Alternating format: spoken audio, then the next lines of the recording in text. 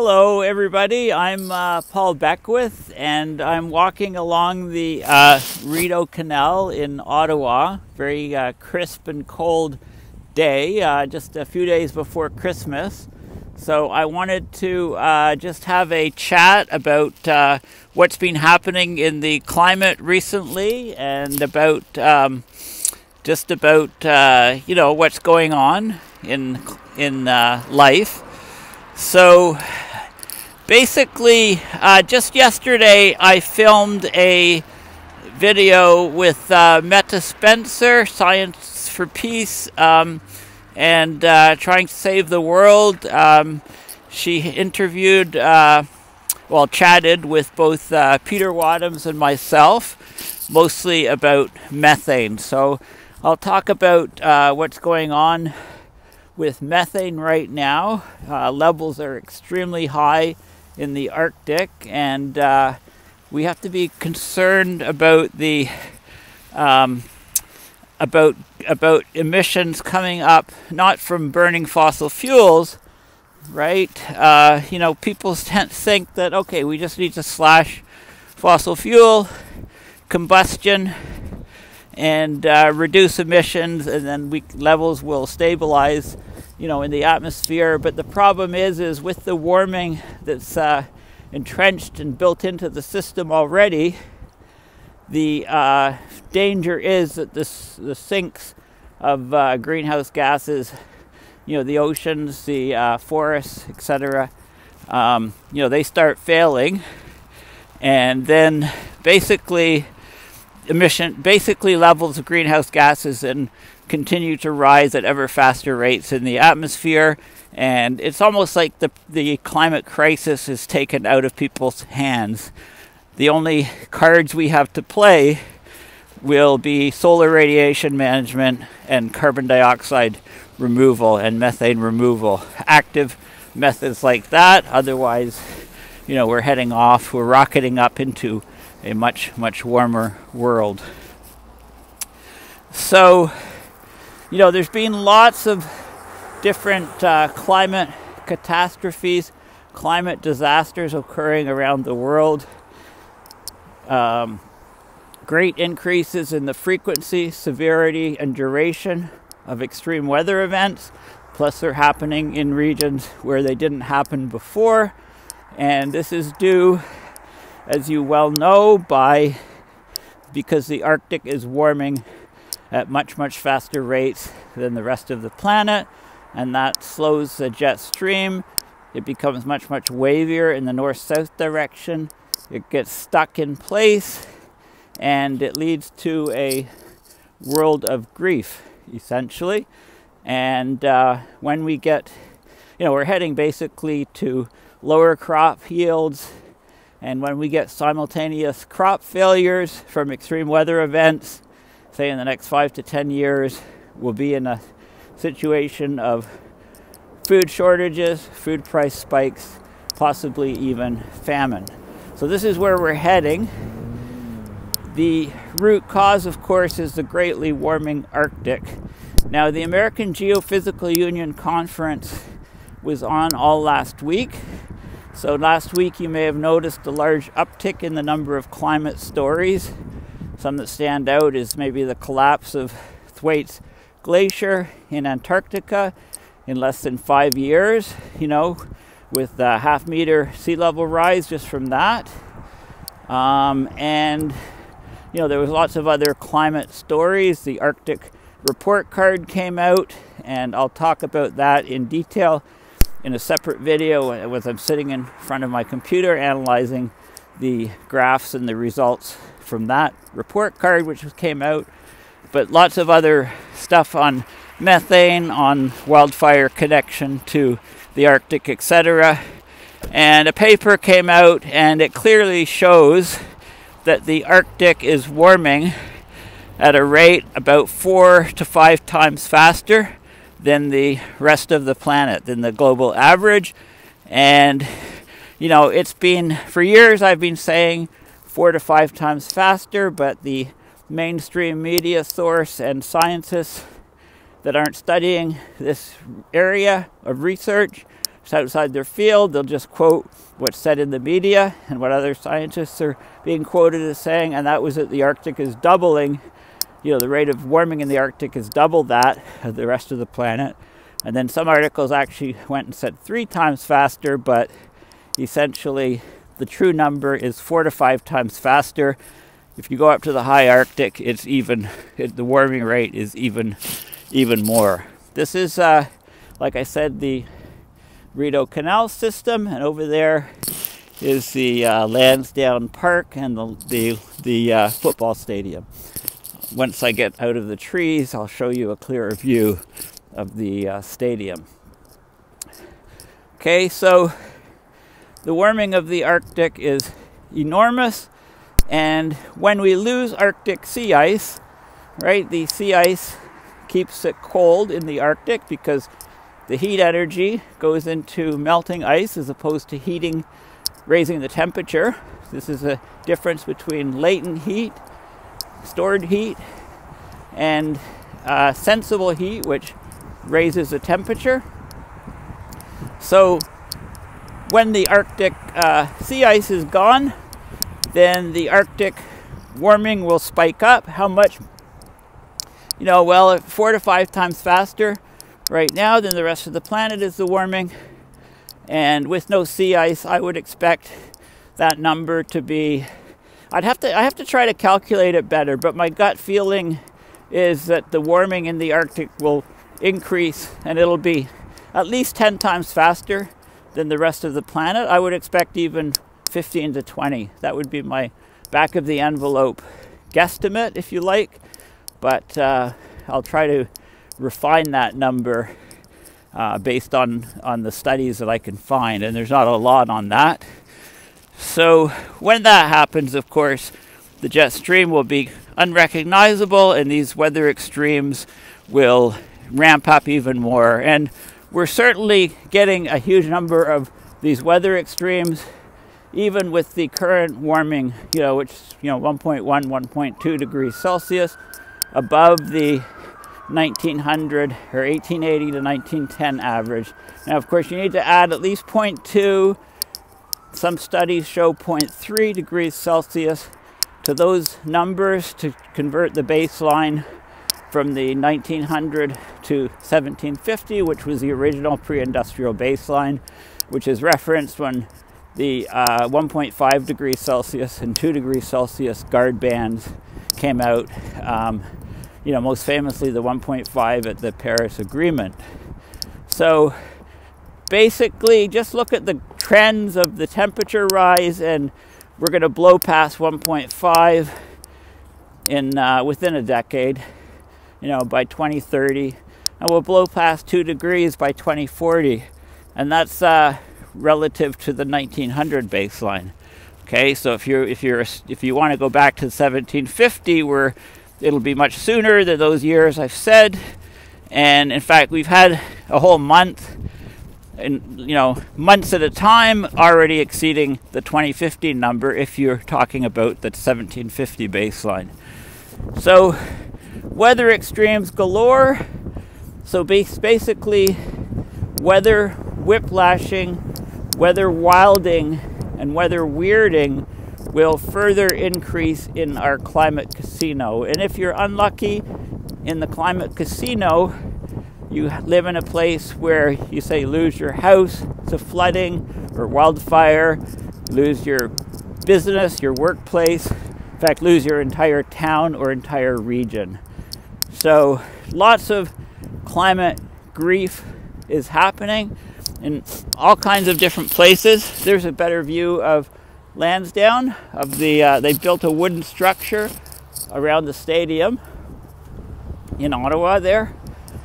Um, so, and if you, you know, this is happening. This loss of livelihoods, loss of entire ways of life, whether it be in whether you're in British Columbia and have been exposed to multiple atmospheric rivers coming and washing out mountains, passes, and roads, and rail and infrastructure, and then causing flooding of vast regions. Or if you're in uh, the US, uh, Kansas, Can- or Kentucky and many other adjoining states where there was tornado swarms in December just a few weeks ago causing vast destruction that it looks like an atomic bomb took out entire regions. You know, huge devastation, people losing everything.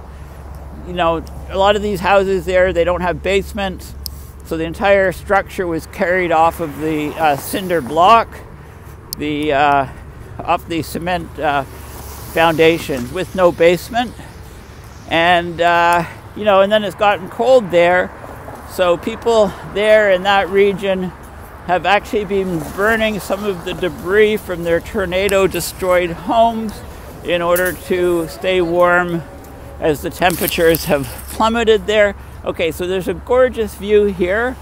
Got the canal here.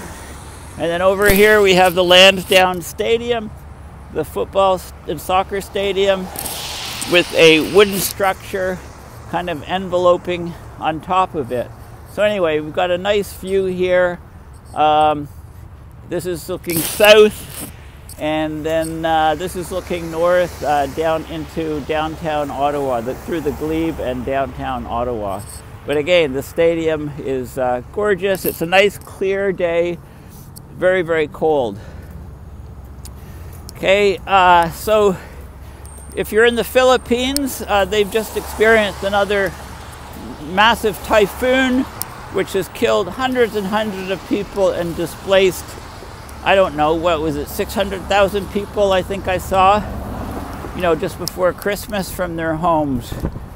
So these extreme weather events are generating climate refugees around the planet and there's so many things that people have that are being destroyed. If they get away with their lives, they lose everything and there's uh, a lack of any insurance for most people so they just they're driven into poverty essentially. Climate induced poverty.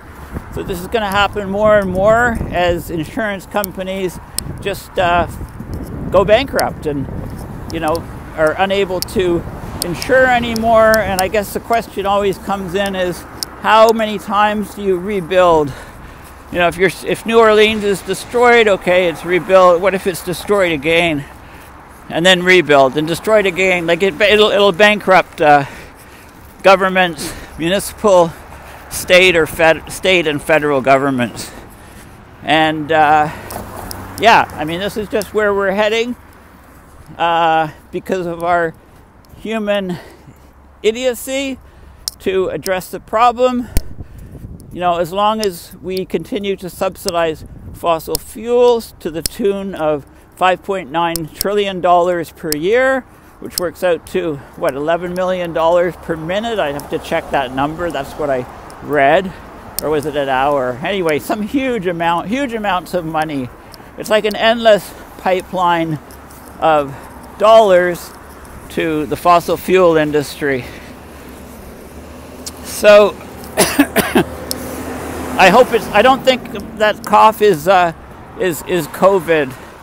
Um, this virus, the Omicron or Omicron, um, it seems it's a perfect example of exponential growth. Climate disruption is increasing exponentially, but Omicron is is like I said, with a perfect example of super exponential or hyper exponential growth. The doubling rate of this virus, many places, is two to three days. 2.8 days in Ontario, I think, um, before measures are, are uh, before everything's locked down. Uh, about two days in the UK. It's just phenomenal multiplication. The virus, the you know, but I ask yourself, what would be the what would the ideal vaccine look like? The ideal vaccine would build the antibodies in people's bodies to fight the virus so that it didn't harm the person.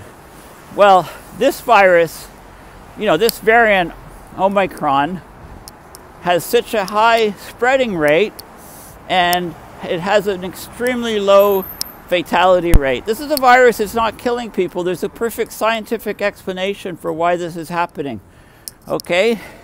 This variant multi- is it, it multiplies in the upper respiratory tract of the human body, the throat, by a factor 70 times higher rate than all the other variants.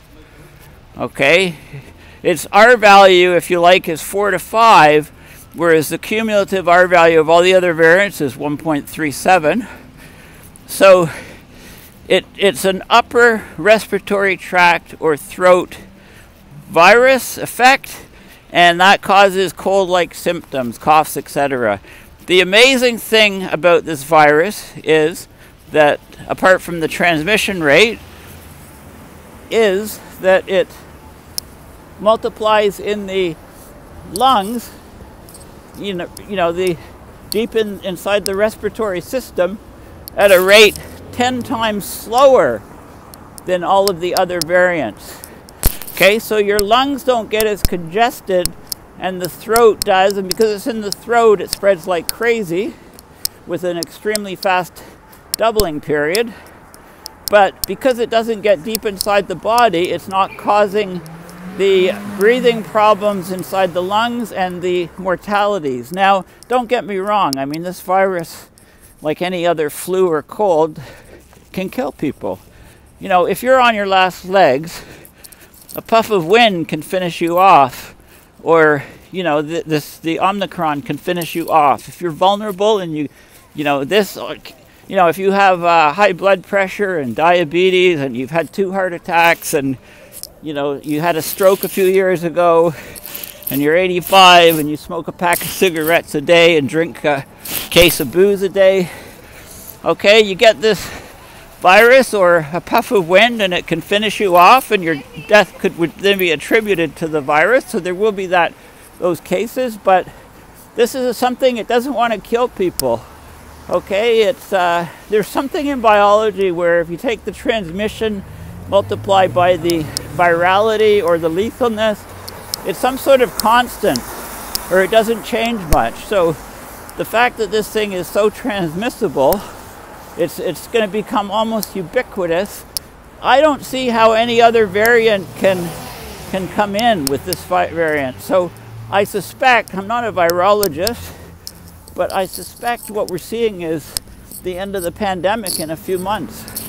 There's no way you can have a growth rate as large as what you have with this virus and it be around for a long time. So it's uh, zipping through the population. Christmas is perfect for spreading it around even more. Those growth rates will at least continue into the new year, but then it will have infected so many people, they built up this herd immunity, and then the thing will die out, and that'll be it. No more masks. So there you go. That's what I think is going to happen. You know, I heard Biden had, had, was promising to uh, that the U.S. would produce half a billion uh, rapid tests. You know, rapid tests are in huge demand right now, especially with Christmas. You know, if people have the sniffles or whatever, they want to test themselves to make sure it's not the coronavirus or if they're going to visit elderly people, relatives, etc., they want to test themselves before so they don't bring harm to these people so it can allow them to celebrate their Christmas.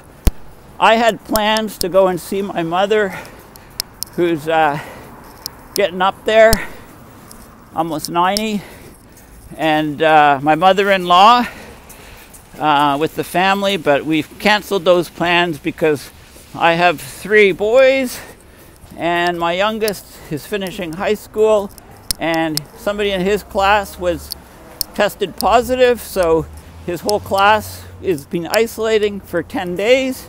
I think he's on about day 8 of that.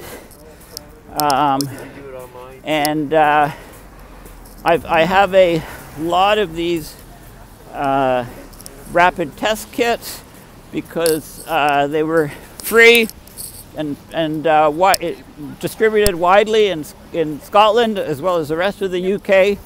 So I brought back some, uh, a bunch of them to uh, you know, test myself and friends and people for Christmas. That was the idea, and they're coming into high demand now, and I'm doing that.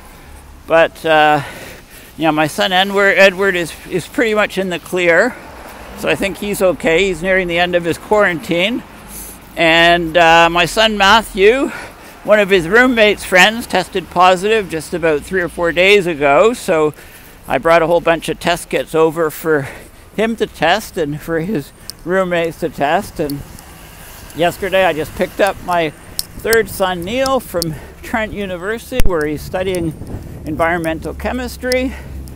And uh, things, they're pretty, you know, before I drove him and his friend back, I tested both of them. Of course, these tests are, uh, so, but I think this is sort of a ubiquitous variant. This is, this is like nature's vaccine, nature's way to end the pandemic.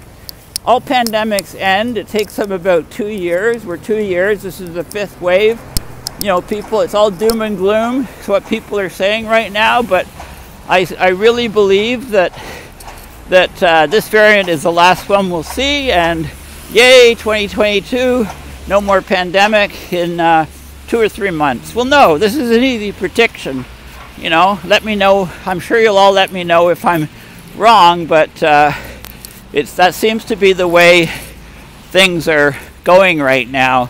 Mortality rates have not been increasing significantly. They're extremely low in South America, South Africa, right where the thing started, in Denmark, in countries that had the rapid wave, and in fact the the big spike of cases in South Africa has petered out and is the number of cases is starting to fall uh, just as rapidly as it rose there. So I fully expect to see that in all other countries.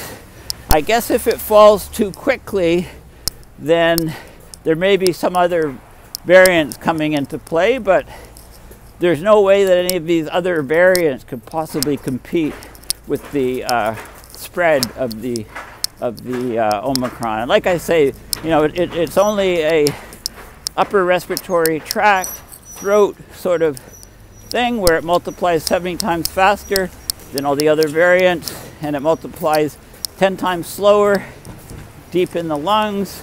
So your lungs don't fill with fluid, you don't get the flus and pneumonias, and uh, you know you recover from a, a cold. Your the the symptoms are much much milder.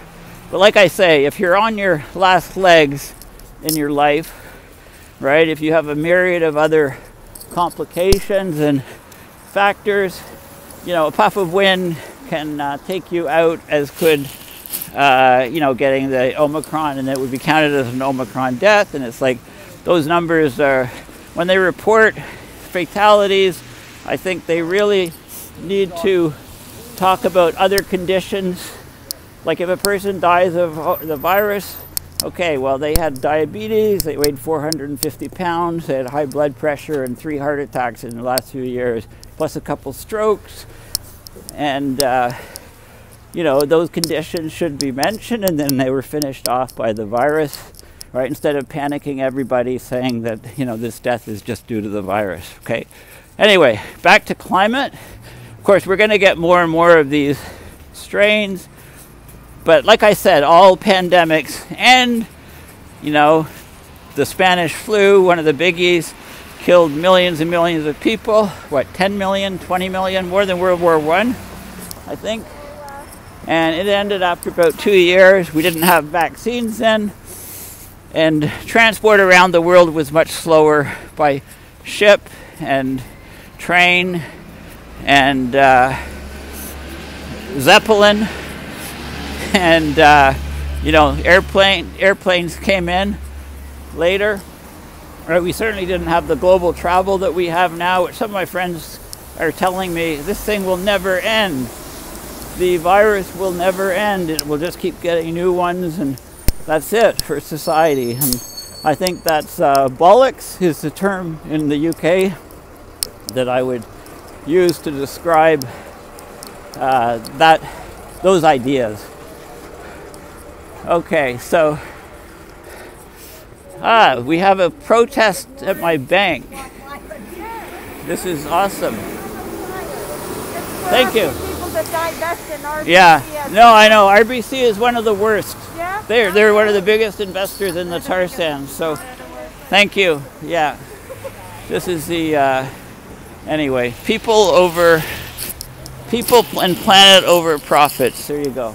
I'm filming a climate change video, nice. so no plans. Good stuff. Okay, so there we are.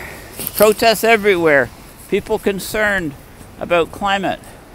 Okay, so so these extreme weather events are definitely ramping up and they're going to continue to ramp up and when we lose the arctic sea ice they're going to they're to uh, go vertical right? They're going to spike up and there's certainly no normal right? Normal is chaos but the level of chaos is is ever increasing and will spike up when we lose arctic sea ice which is where we're trending to happen.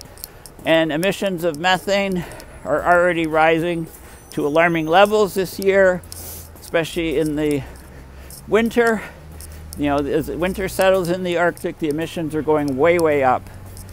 And uh, it's because of all the breakdown of organic matter that's you know percolating in the uh, permafrost and you know in regions in the upper levels of the ground that are near zero degrees Celsius. Now, so where are we heading next? Okay, well let's talk about the atmospheric rivers a bit.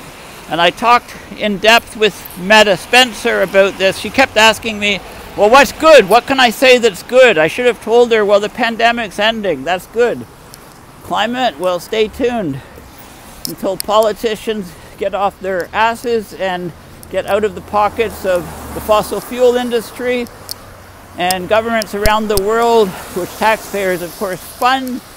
That money just goes straight into to the tune of 5.9 billion trillion dollars per year into fossil fuel subsidies, which are then destroying everything that we hold dear on this planet, including, you know, the plants, the animals, and ourselves. It's really degrading our, you know, we're killing our, our uh, lifeboat Earth, essentially.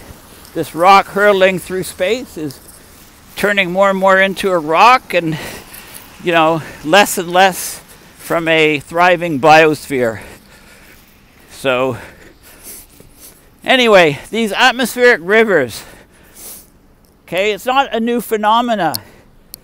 It's been around a long time. Okay, it's just that Canadians hadn't heard of that term because, you know, people in BC had never heard of that term. It became a new term, like the, the Canadian term of the year, atmospheric river, which very few people had heard of. But California's been getting these things for years. In fact, one of them is called the Pineapple Express.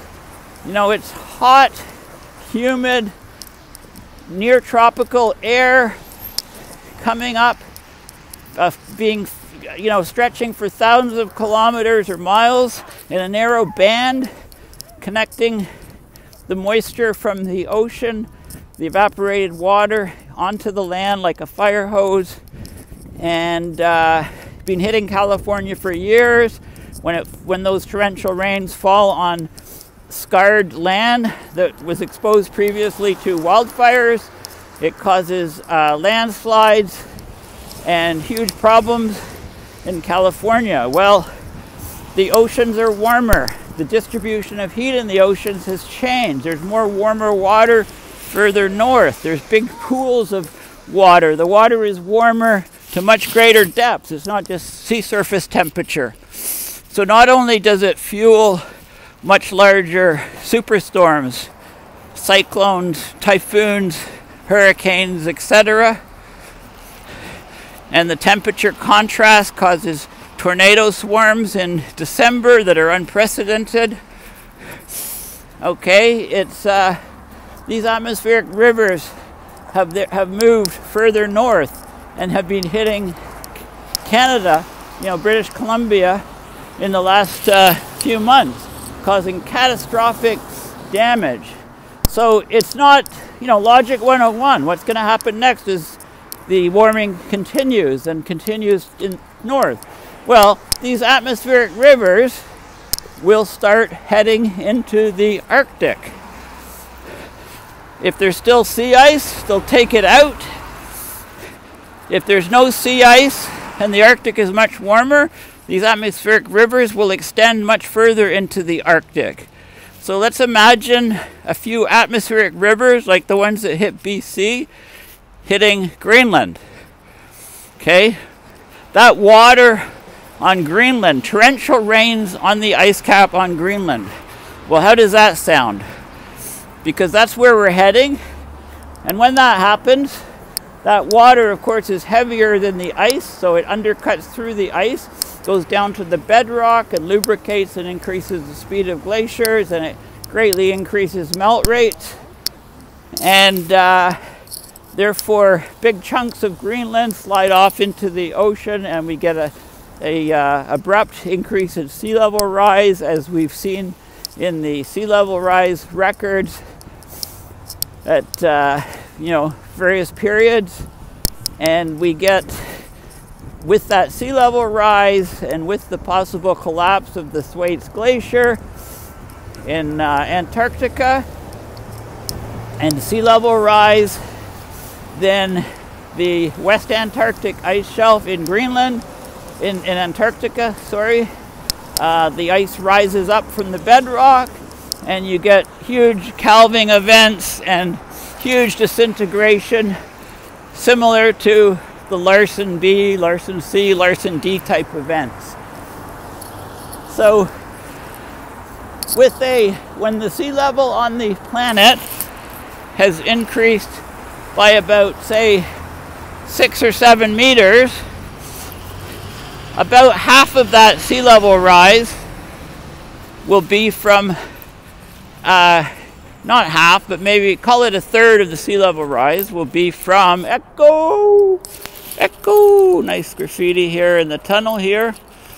Okay, uh, I'd say about half of the, a, third of the sea level rise will still be from ocean expansion, and uh, a third will be from the Greenland glaciers, and a third will be from Antarctica glaciers. So, you know, if you get the Thwaites Glacier in Antarctica calving and breaking up, rising, raising sea level, half a meter in a very short period of time, then that will greatly undercut Greenland glaciers and uh, cause them to have a greatly accelerated melting, which will increase sea level rise, feeding back to Antarctica and so on. You get the picture. Okay, we're in for a much, much different world. And it's all happening very, very quickly. So uh, you can feel extremely fortunate that you happen to be living at a time when we're seeing these cataclysmic changes occurring on the earth. Um, so, anyway, that's uh, my thoughts on the atmospheric rivers going into the Arctic are still ongoing and developing, but I think that's a natural progression of what's happening. You know, as the warming goes more and more northward, and as we get Arctic warming from increased absorption of solar radiation because the re- whole region is darkening, then I fully expect that these atmospheres. Uh, you know, the Arctic is heading to become a place with no snow and ice. And you know, I have to laugh. Uh, I saw Jason Box at the uh, Glasgow Climate Conference. In fact, I, I, videotaped one of his talks. I don't think I've posted it on my video stream yet.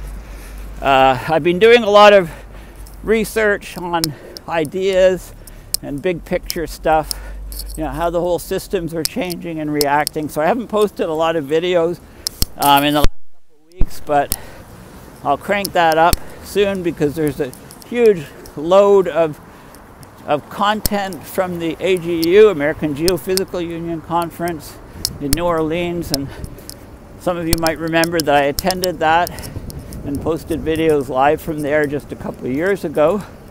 But it, it comes too close to COP, so if I go to COP, I probably can't go to that thing. It was also a virtual conference. There's a lot of information on that. My, my colleague uh, Peter Carter gave three presentations um, virtually to the American Geophysical Union.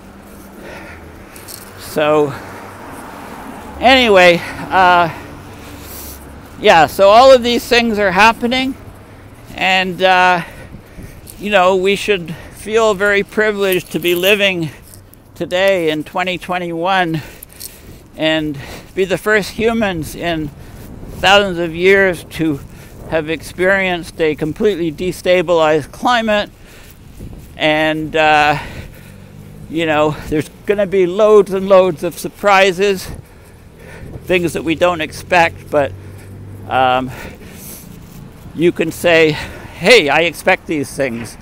I'm not surprised when, you know, when, when atmospheric rivers go in and take out Greenland ice I mean, anyway, what I was saying about Jason Box is, yeah, I'll post his presentation, but he's a, a great scientist. He's one who said that if, you know, Greenland melt rates goes way up, we're effed, you know, and took a lot of backlash from people. He said that a number of years ago. Kevin Anderson was also there at the conference in Glasgow, lots of other people.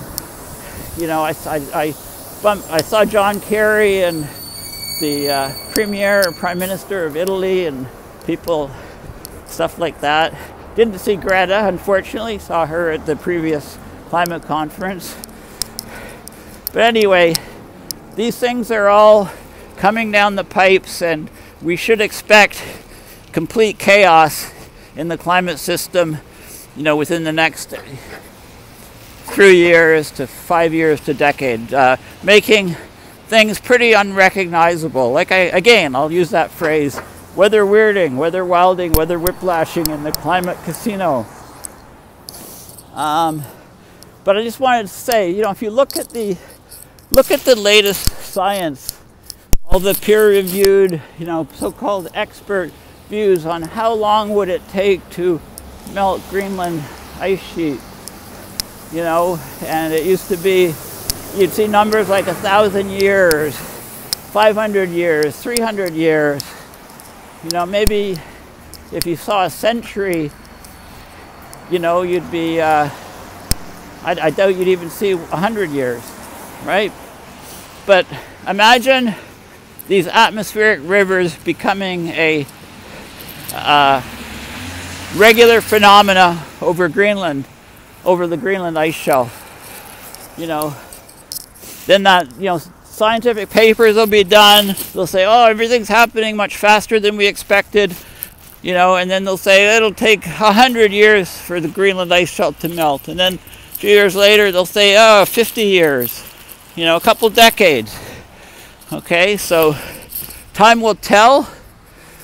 Um, anyway, I'm heading downtown. Um, and uh, I'm heading to see a lot of stuff is closing today. I got to do a few last minute shopping things. Be the, be that good consumer. Actually, I have so many books. I was going to give people books for the holidays, but like I said, we're just kind of hunkering down and staying put. You know, because uh, we don't want to visit elderly people that are vulnerable. And uh, what else can I say? There was a whole bunch of other things I was going to talk about, but I have to kind of pay attention to traffic. So, anyway, I hope everybody has a very happy new year, you know, as we head into 2022. And uh, finally, the, the virus fatigue will end, and, you know, great news. I bring you great news. Rejoice. You know, the pandemic will come to an end in a few months is, uh, you know, but of course, if it doesn't, I'll have to stop these being a uh, pretend virologist, you know, and defer to others. But you'll notice in all of the stories that you read about this thing, almost none of them talk about mortalities and death rate. So it's, uh, yeah, anyway. that's the really that's the thing to delve into and dig into for your particular region. Uh, what else was I gonna say? Um, I don't know. I'm uh, stay healthy. You know, stay happy. Right? Just compartmentalize. Forget everything I just told you about climate, and uh, enjoy the holidays. And uh, you know, we can work at saving the world again uh, in the early new year. Um, I did a video with uh, my colleagues, my friends at the Climate Emergency Forum and managed to convince Charles and Heidi, who are behind the operation, to uh, go on and talk about their, uh, their experiences at the COP26 in Glasgow, along with, of course, you know, Regina and uh, Peter Carter, who was a virtual attender and uh, you know my own views about it, and also you know watch the uh, Metta Spencer uh, video on sort of the end of the year video that I did with uh, Metta and uh, Peter Wadhams, and uh, yeah, so I'll, I'll, you know make sure you go to my website paulbeckwith.net. Con- please consider a you know holiday donation to my website and uh, let me know if I put out too much uh, content over the next uh, few weeks because I've got still loads of cop videos. It turns out I forgot I hadn't posted the Jason Box one, but there's many other good ones too. There's one where I was walking into the cop and uh, Darth Vader was playing music and talking about marine cloud brightening and things. So he's singing, and then and then he said he added my name into his song as I'm walking by. so anyway, I'll post that one. He's a very famous guy, you know. So many people going into the cop saw him, uh, Jamie. So uh, yeah. So uh, what else? Uh, facingfuture.org. You know, make sure you check out them and their videos, and uh, also um, if you want to challenge me to chess, you can find me often. Uh, if I'm not doing enough videos, I'm reading science, reading books, even fiction, mostly nonfiction. And uh, you can find me under my name on uh, Lichess, L-I Chess, or on chess.com. And uh, challenge me to a game if you're so inclined. Although my rating is going much, much higher. My performance rating is over 2,500 in a lot of recent uh, uh, tournaments that I'm playing in uh, rapid chess, which is five minutes for the whole game. Okay, thanks again and uh, happy holidays. Okay, bye for now.